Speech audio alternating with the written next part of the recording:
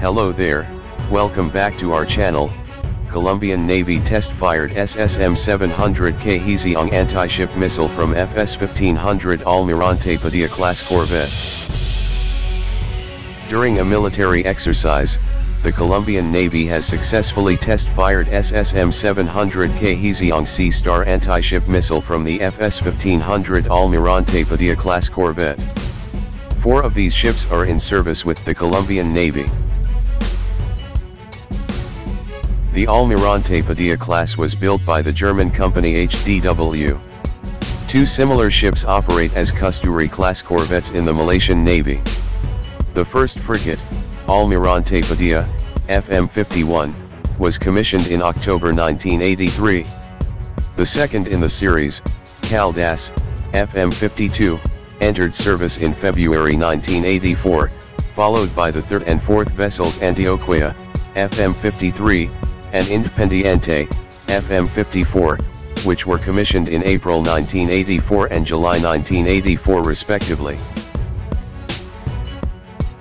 In 2012, Colombia ordered 16 SSM-700K Haeseong I, Sea Star, anti-ship missiles from South Korea to arm the frigates.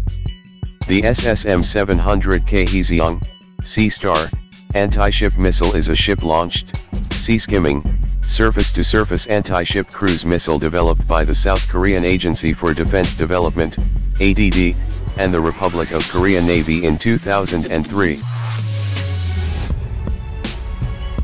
A long-range cruise missile, the Haeseong was developed for over-the-horizon warfare, capable of attacking targets up to 150 kilometers away.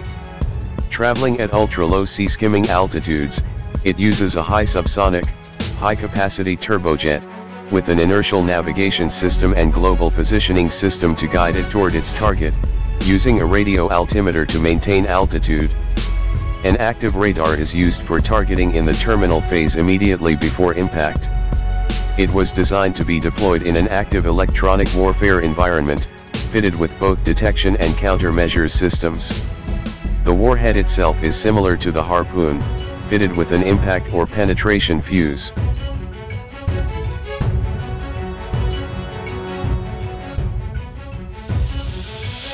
The vessel has a displacement of 2,100 tons, length of 99.1 meters or 325 feet, beam of 11.3 meters or 37 feet, with a draft of 3.7 meters or 12 feet its propulsion used two shaft, 4 MTU 1163 TB92 diesel engines, about 23,400 horsepower with a speed of 27 knots or 50 kilometers per hour, with a range of 7,000 nautical miles.